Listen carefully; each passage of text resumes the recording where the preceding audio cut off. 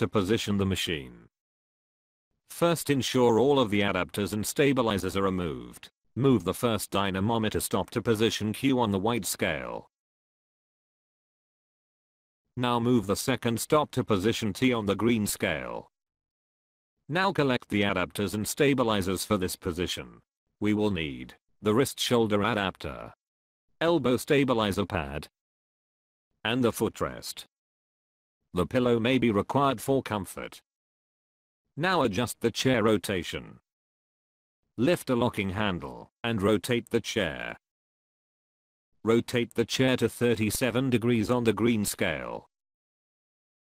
Ensure both locking handles are pushed down to secure. The chair foreaft is altered by raising either locking handle, then slide the chair bottom forwards or backwards. Adjust the chair foreaft to position 15. Lower the locking handle to secure. Set the chair back translation by winding the handle. Adjust the chair back translation to position 0. Set the seat to the down position by lifting the seat and releasing the lock. To set the chair back angle lift a locking handle and adjust the chair back. Adjust the chair back angle to 0 degrees. Ensure both locking handles are pushed down to secure. Now set the dynamometer tilt. Release the locking handle then change. Adjust the tilt angle to 0 degrees. Lock by tightening the handle. The dynamometer height and rotation are adjusted together. Lift a locking handle to release.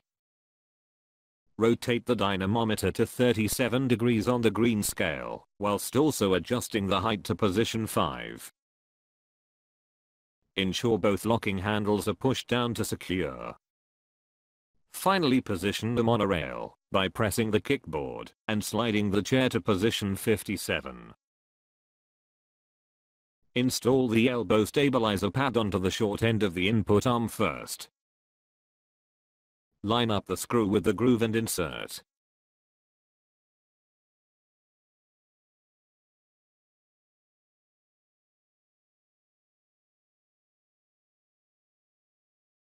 Secure with the locking screw.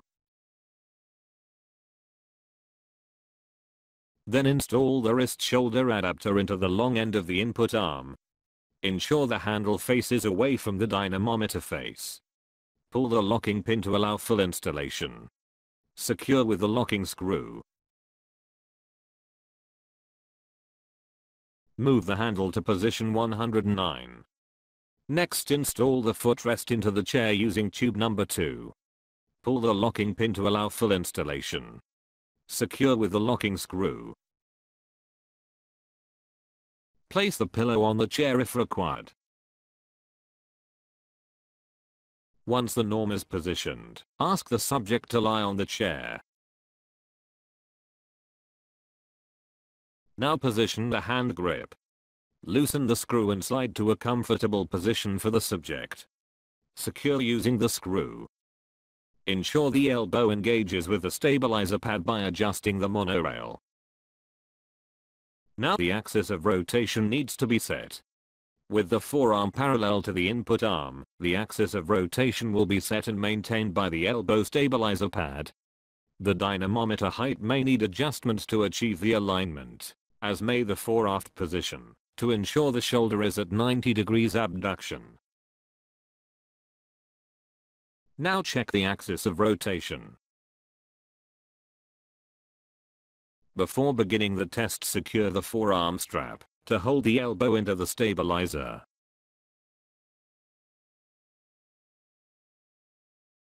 The test is ready to begin.